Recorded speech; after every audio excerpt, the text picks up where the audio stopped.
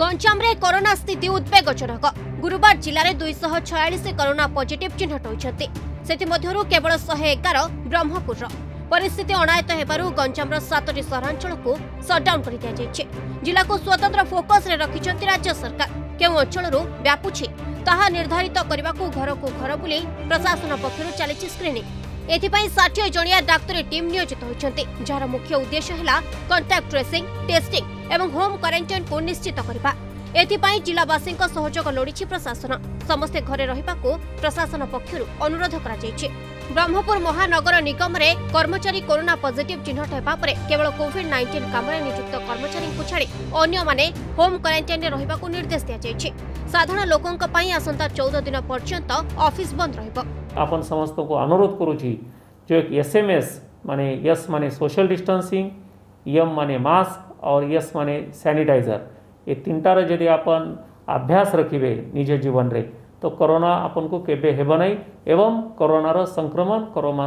जो चेन अछि तको भांगी पारि जिल्ला छत्रपुर रंभा खलीकोट कोलसरा कोदळा कविसूचनगर एवं पुरुषोत्तमपुर सटडाउन रहिछि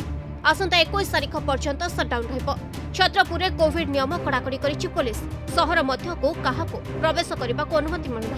स्थानीय बीजेपी नेतांक अभिजोग सरकारक मिशन गंजाम केवल लोक देखणिया ଗଞ୍ଜାମରେ ସ୍ଥିତି ଅଣାୟତ୍ତ ଥିବାବେଳେ ସରକାର କଟକ ଏସ୍ସିବିରେ ପ୍ଲାଜମା ଥେରାପି ଆରମ୍ଭ କରିବା ଦୁର୍ଭାଗ୍ୟଜନକ डिक्लेयर कराई नेक्स्ट छः दिन सटडाउन पुलिस के व्यवस्था आगे चली जो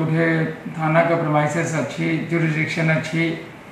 मैंने पूरा जुरिडिक्शन को हमें सील करी जे लोग भी अननेसेसरी मुवमेंट करूँ ଆମେ ଅଟକାଉଛୁ ତାହା ପଚରାପଚରି କରାଯାଉଛି ମିଶନ ଗଞ୍ଜାମ ଖାଲି କଥାରେ କହିଲେ ହେବନି ୟାକୁ ତୁରନ୍ତ ପାଞ୍ଚ ହଜାରରୁ ଅଧିକ ଟେଷ୍ଟ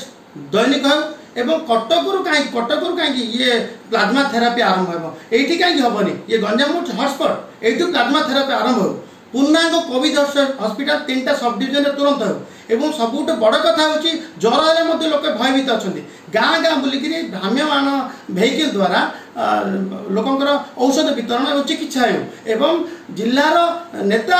ବାଚସ୍ପତି ଶ୍ରୀଯୁକ୍ତ ସୂର୍ଯ୍ୟନାରାୟଣ ପାତ୍ରଙ୍କ ନେତୃତ୍ୱରେ ଏକ ସର୍ବଦଳୀୟ କୋଭିଡ଼ ପରିଚାଳନା କମିଟି ଗଠନ ହେଉ ଆମେ ଦାୟିତ୍ୱ ନେବା ଏବଂ ଜିଲ୍ଲାକୁ ରକ୍ଷା କରିବା ଗଞ୍ଜାମରେ କରୋନା ଆକ୍ରାନ୍ତଙ୍କ ସଂଖ୍ୟା ଚାରି ହଜାର ଆଠଶହ ସତଷଠି ଥିବାବେଳେ ଅଡ଼ଚାଳିଶ ଜଣଙ୍କର ମୃତ୍ୟୁ ହୋଇସାରିଲାଣି ଜିଲ୍ଲାରେ ବର୍ତ୍ତମାନ ଏକ ହଜାର ଆଠଶହ ପଇଁଚାଳିଶଟି ମାମଲା ସକ୍ରିୟ ରହିଛି bureau report the Argus dot in